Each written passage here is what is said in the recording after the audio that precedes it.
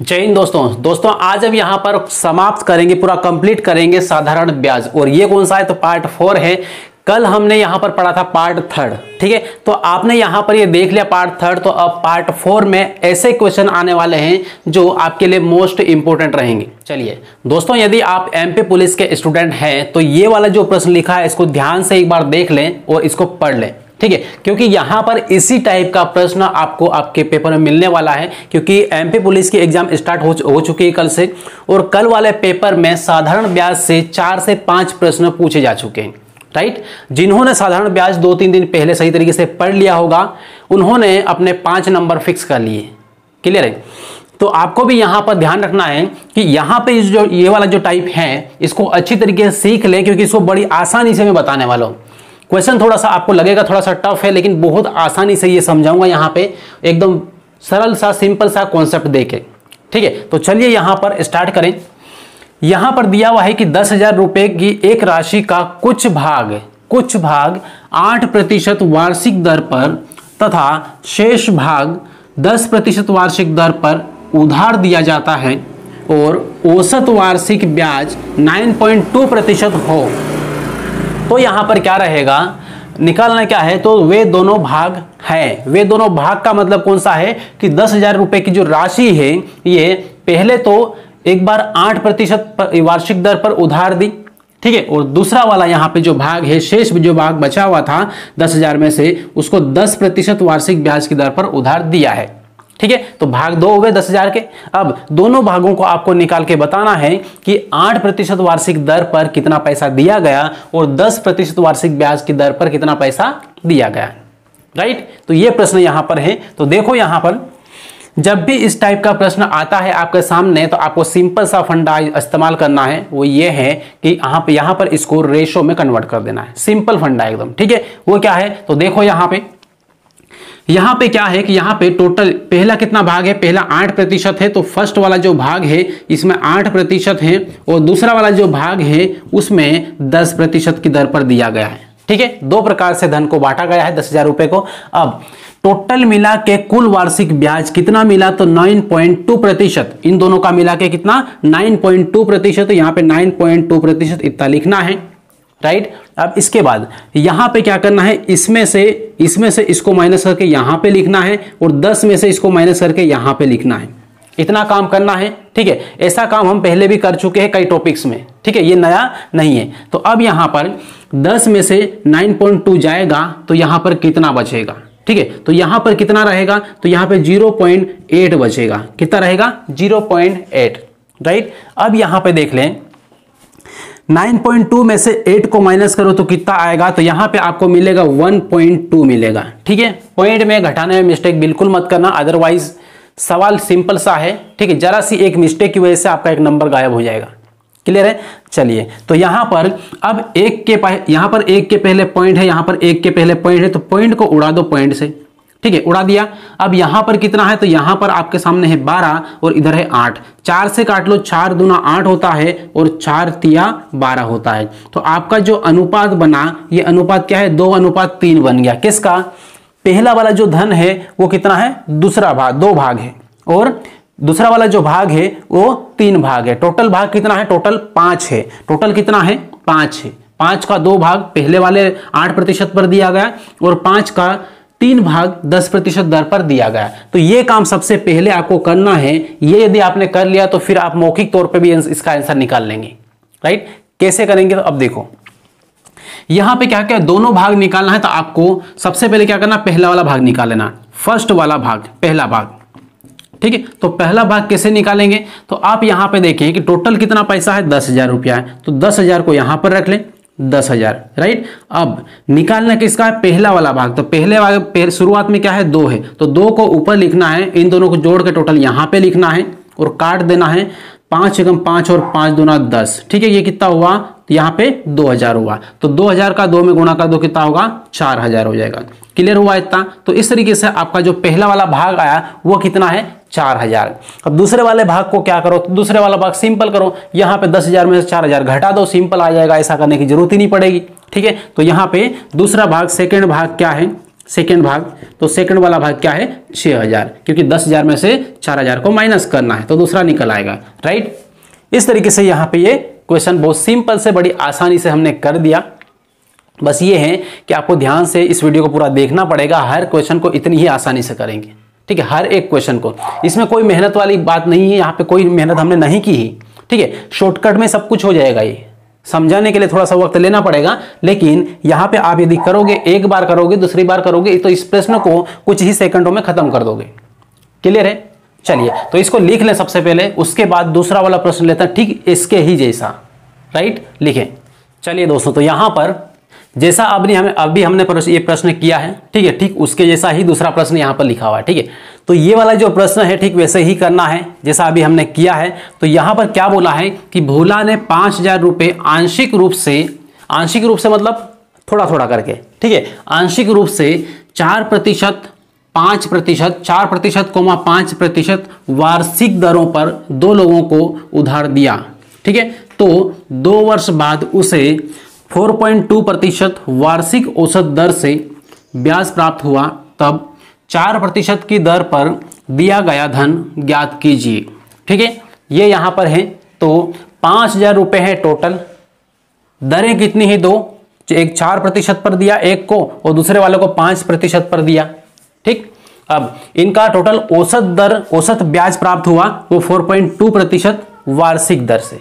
Right तो यहाँ पर सिंपल फंडा है कि यहाँ पर निकालना क्या है? चार प्रतिशत की दर पर कितना धन दिया, ये आपको बताना है।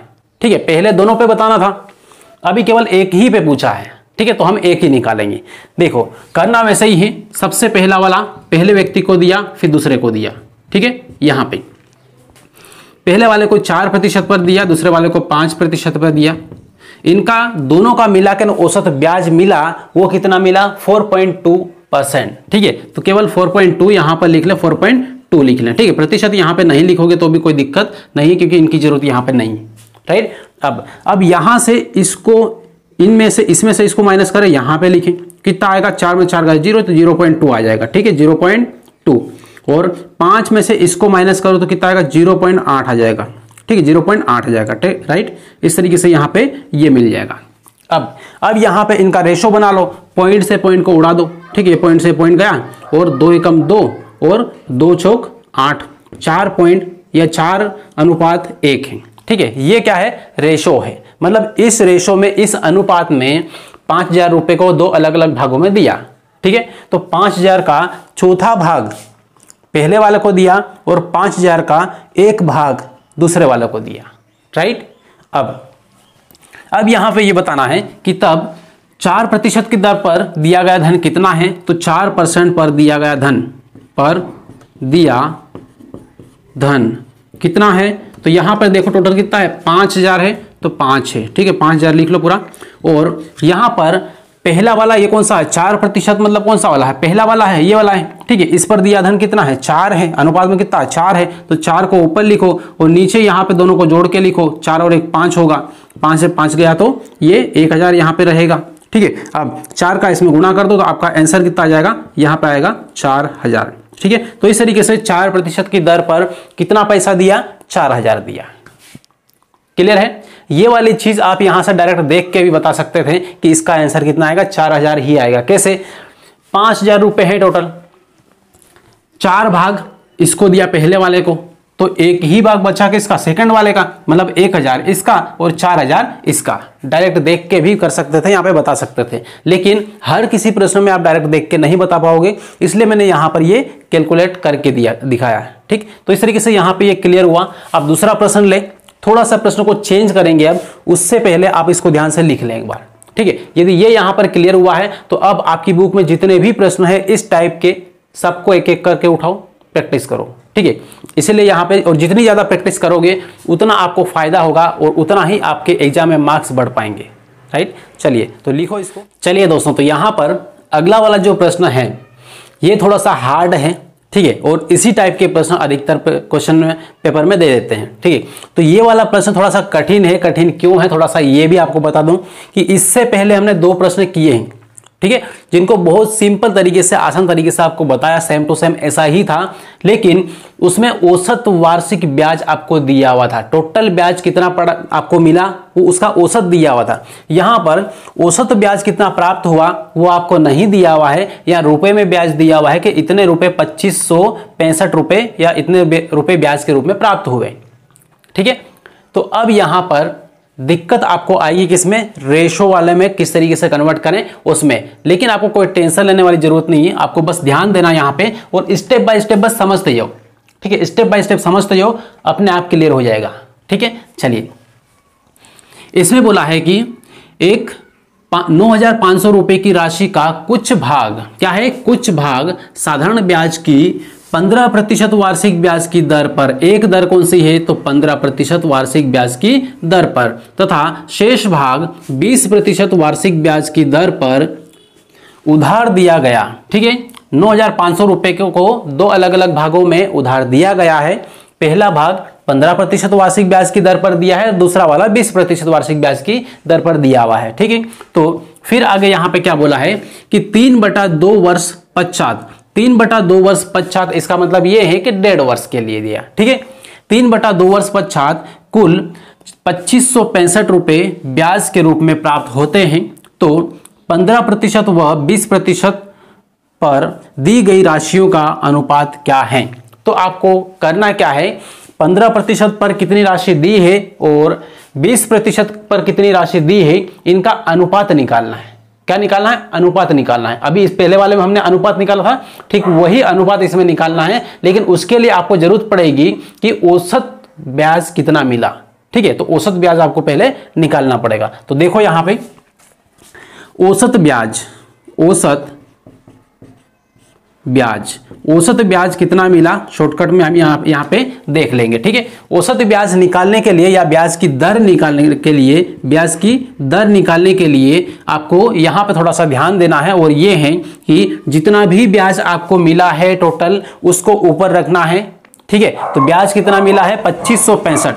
पच्चीस सौ पैंसठ यहाँ पे मिला है और उसके बाद फिर यहाँ पर देखें तो जितना भी मूलधन है, उसको यहाँ पे बटे में लिखना है नौ हज़ार पाँच सौ रुपए। ठीक है, नौ हज़ार पाँच सौ रुपए। और समय का इसमें गुणा कर देना है। ब्याज जो है, उसको ऊपर मूलधन गुणित समय नीचे। ठीक है तो समय कितना है? तीन बटा दो। तीन बटा दो यहाँ पे कर देना है।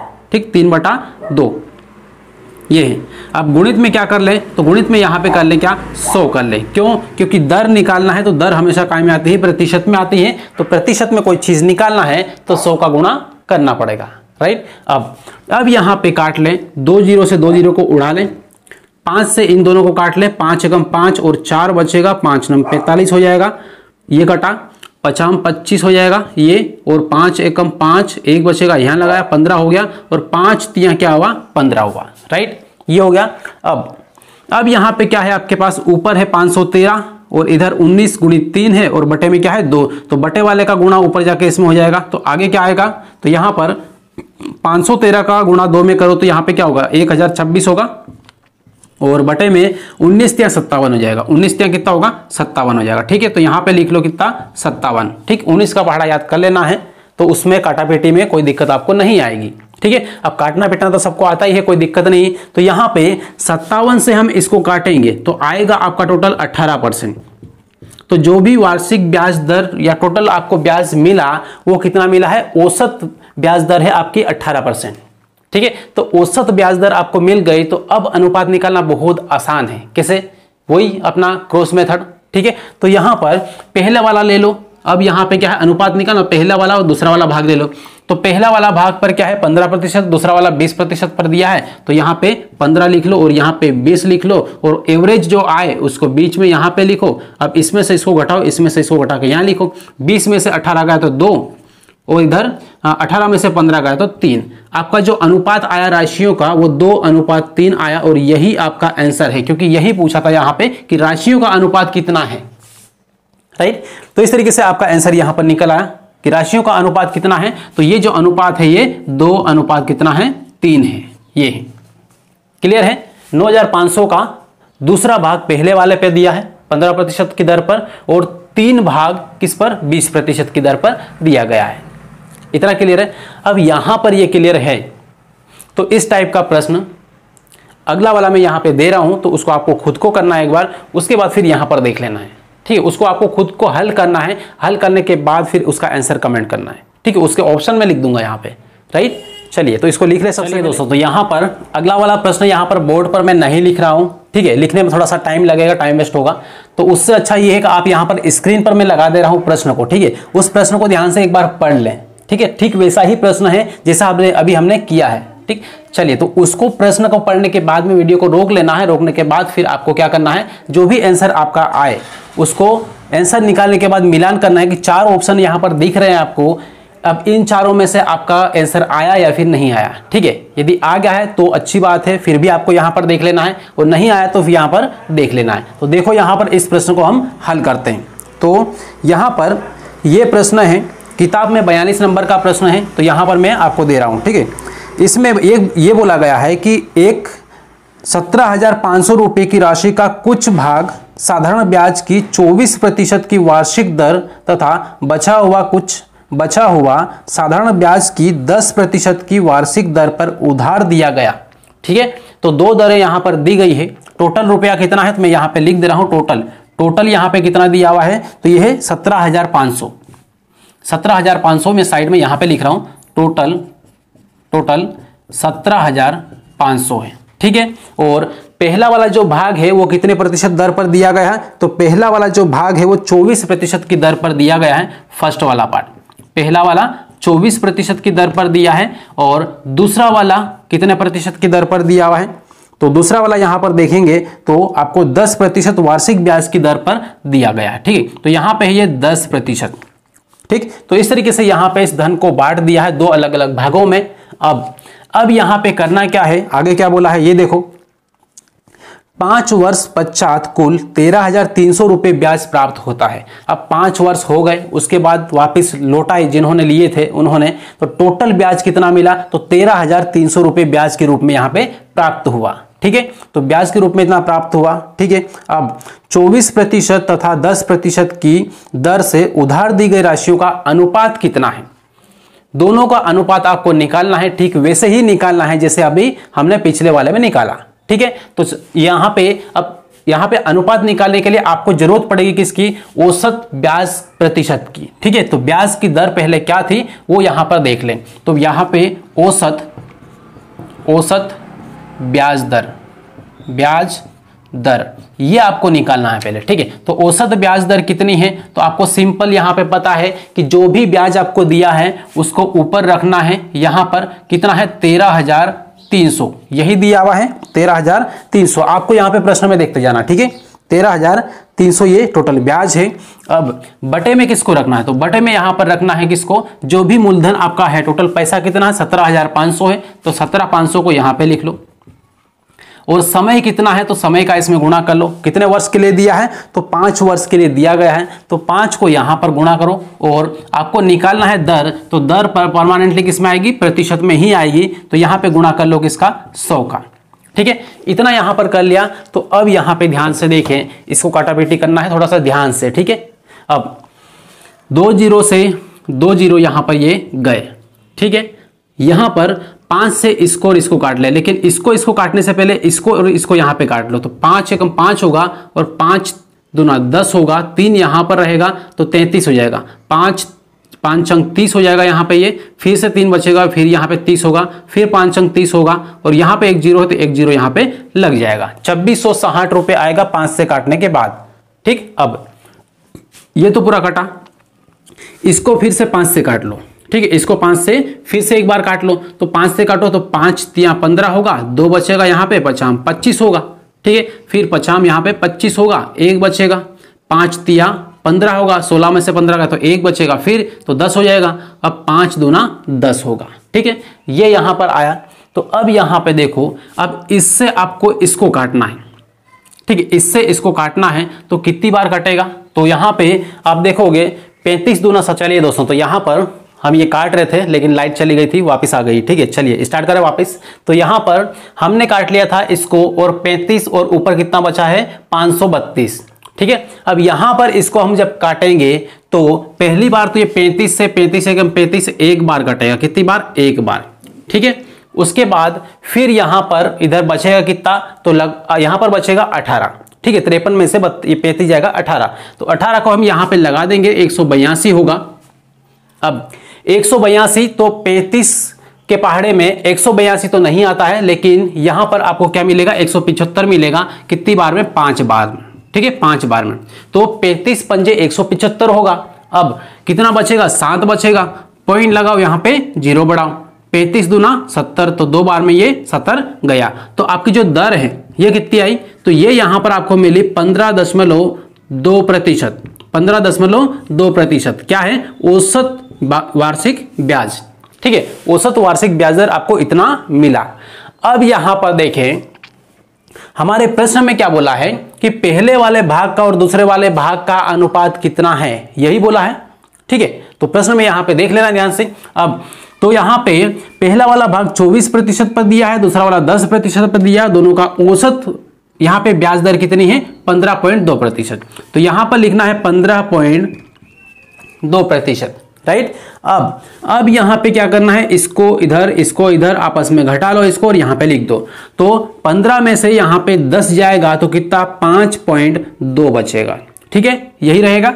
अब, इधर 24 में से इसको घटाना है तो कितना आएगा? देख लो यहाँ पे 24 में से किसको हटाना है? 15.2 को। तो 24 ये हैं और पॉइंट ज़ीरो बढ़ा लो तो 15.2 को यहाँ पे घटा देना है। तो 8 में से इधर यहाँ पे ज़ीरो है तो एक उधार लो, इधर से 10 हो जाएगा। यहाँ पे तीन, ठीक है? तो 10 में से दो गए तो 8 रहेगा, ठीक है? इधर। और तेरह में से पाँच गए तो आठ, पाँच तेरह होता है तो ये आठ रहेगा, ठीक है? और यहाँ पे पॉइंट है। अब इधर एक हो जाएगा, उधार यहाँ से भी लिया था, क्योंकि तेरह बनाया इसको। तो अब एक में से एक गया तो ज़ीरो। मतलब आपका यहाँ पर इसमें से इसको घटाने पर कितना आया? एट पॉइंट एट आया, ठीक है, एट पॉइंट एट आया। इतना क्लियर है? अब अब यहाँ पे इस पॉइंट से इस पॉइंट को क्या करो? उड़ा दो। ठीक है, उड़ा दिया। अब यहाँ पे दो से इसको काट लो, ठीक है? तो दो से काटेंगे या फिर चार से काट लो? चार एकम चार, एक बचेगा, यहाँ लगा दो, बारह हो जाएगा। चार तिया, बारह हो जाएगा। ठीक है, तेरह आया। और यहाँ पे चार दुना आठ और चार दुना आठ। आपका जो अनुपात आया, वो अनुपात कितना है? तेरह अनुपात बाईस है। और यही आपका आंसर है। ऑप्शन में ध्यान से देख लो आराम से, कौन से नंबर का है। ठीक है तो इस तरीके से यहाँ पे इसको करना है। बड़ी आसानी से करना है, बस ये भी काटापीटी का मामला है, बाकी कुछ भी नहीं। जिसको भी काटापीटी में दिक्कत हो मल्टीप्लाई सिंपल तरीके से करते नहीं आता है तो एमपी पुलिस की बेच महासंग्राम स्टार्ट हुई थी तो उसमें सबसे पहला वाला जो वीडियो है, फ़र्स्ट वाली जो क्लास है, वो कैलकुलेशन को फास्ट कैसे करें, उसके ऊपर मैंने पूरा बनाया है तो उसको एक बार ज़रूर देख लेना है, आपकी अपनी कैलकुलेशन फास्ट आराम से होगी। ठीक है? तो देखो यहाँ पर ये इसका आंसर है, और अब इसके बाद में हम टाइप को थोड़ा सा चेंज करें। टाइप को इसलिए चेंज करेंगे, क्योंकि यहाँ पे बहुत ज़्यादा क्वेश्चन, एक टाइप के हम नहीं ले सकते, टाइम बहुत ज़्यादा बढ़ जाएगा। ठीक है? तो वेराइटी थोड़ी सी अलग अलग चेंज करें तो टाइप दूसरा चेंज करें, उससे पहले आप इसको एक बार लिख लें। चलिए दोस्तों तो यहाँ पर ये प्रश्नों का अलग टाइप है, ठीक है? अब यहाँ पर जो टाइप है, जितने भी प्रकार के प्रश्न हैं, उस टाइप का नाम सबसे पहले देख ले। अब यहाँ पर नाम क्या है इसका टाइप का? तो जब कोई धन अपने आप का या अपने का एन गुना हो जाए, ठीक है? जब कोई भी धन पाँच वर्ष बोले दस वर्ष बोले जितने भी वर्ष बोले उसमें अपने खुद का दो, दो गुना हो जाए खुद का तीन गुना हो जाए जब ऐसे प्रश्न आए तो आपको क्या करना है कैसे निकालना है वो देखना है यहाँ पे ठीक है? तो देखो यहाँ पे प्रश्न करेंगे तो ज़्यादा क्लियर हो जाएगा। यहाँ पर कोई धनराशि आठ वर्षों में स्वयं की मतलब खुद की दो गुनी हो जाती है। कितनी? दो गुनी हो जाती है तो ब्याज की दर कितनी है? ब्याज की दर आपको निकालना है। तो ब्याज की दर निकालने के लिए आपको क्या करना है? सिंपल फंडा यहाँ पर है।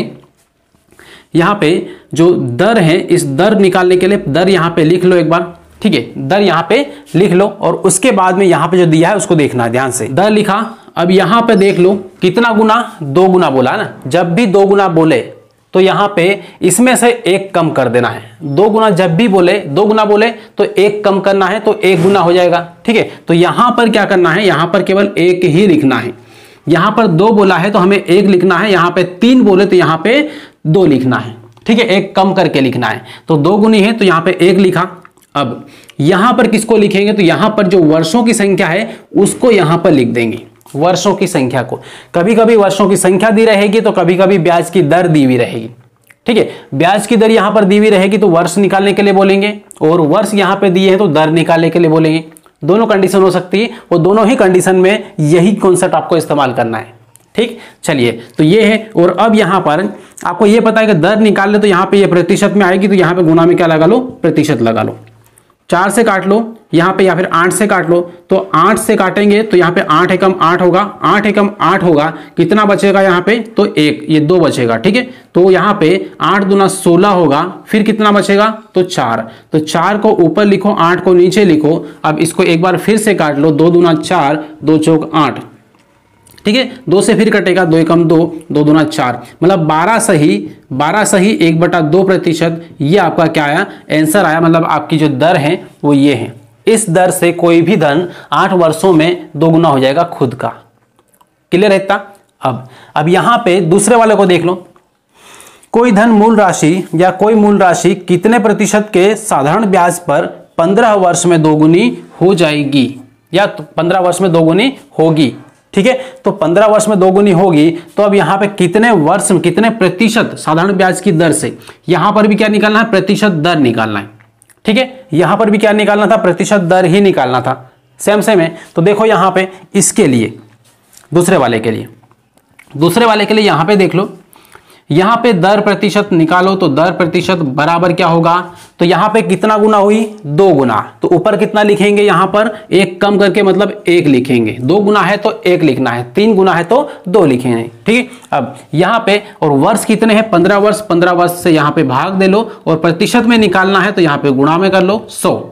अब पाँच से काट लो तो पाँच से यहाँ पे पाँच तिया पंद्रह होगा और पाँच दुना दस होगा। तीन से काटो तो तीन एकम तीन। तीन चंग होगा अठारह, ठीक है? दो बचेगा तो दो ऊपर और यहाँ पे तीन नीचे। इस तरीके से आपका जो आंसर आया, छह सही दो बटा तीन प्रतिशत ये है दर। राइट इस तरीके से आपको करना है। अगला वाला प्रश्न यहाँ पे देखो।